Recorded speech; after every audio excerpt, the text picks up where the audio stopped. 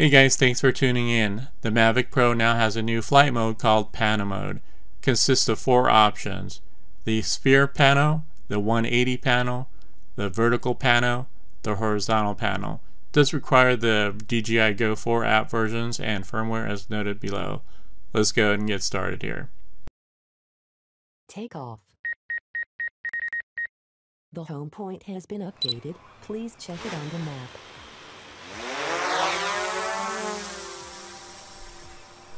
So I'm just getting a position here and take a quick note here that I do have the image file type set as RAW. Now to access the Pano mode, you actually click on the camera settings right there. Then click here on the camera symbol. And down at the bottom, you'll see Pano. Touch on that.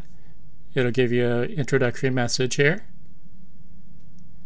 Now there's four options there. I'm going to start with the 180 Pano. Okay, it started. And you can see under the record button there's 21 photos that are going to be taken and it gives you status as it takes each photo. Take note there up at the top right that it is recording these images in both JPEG and RAW.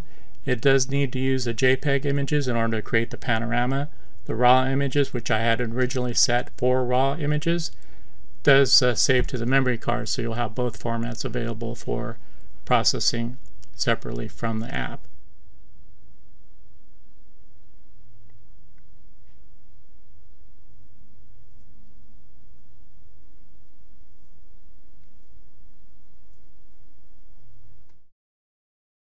Alright, all done. It does give you a little message there. And down at the bottom right, we're going to hit the play button. And there's the image just taken. It does actually stitch the images on the app.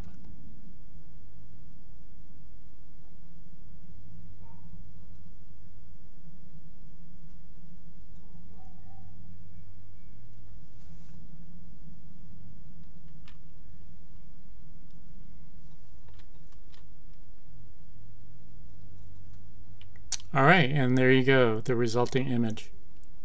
Now you could download it to your device, bottom left button there. The I button just gives you information about the image itself. The top right, there's the share button, and it says you cannot actually do the share function while you're in flight.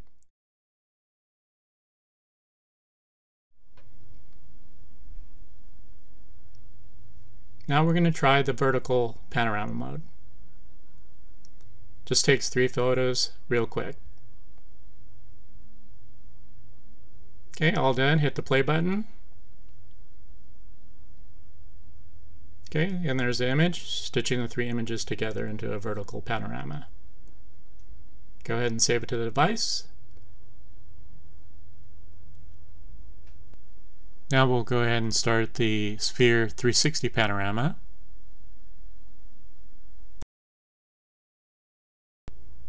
Alright, here we go. 34 pictures all together. I'm going to go ahead and fast forward on this here.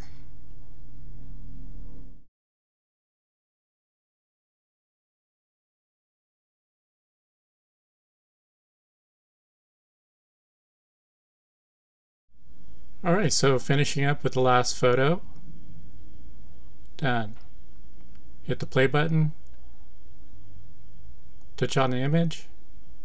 And there it goes. Alright, I'm going to go ahead and fast forward on this, but I will give you a time of how long it takes for this to process. You can also do this after you've landed and at home. However, you do need to have both the remote controller and the drone on in order to be able to process it.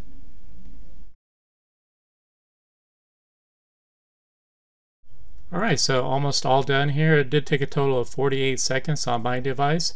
Here's the result here. It does look like a little planet image you can actually change the view angles here and I'll show you that a little bit later. I'm saving it to my device here now. Alright, so I am at home now and I did have to power up the Mavic in order to be able to do this. I'm going to go ahead and look at the 360 image and show you that you could actually change the perspective here. Alright guys, so that is it. Thanks for watching. If you like this video, as always, appreciate you hitting that like button.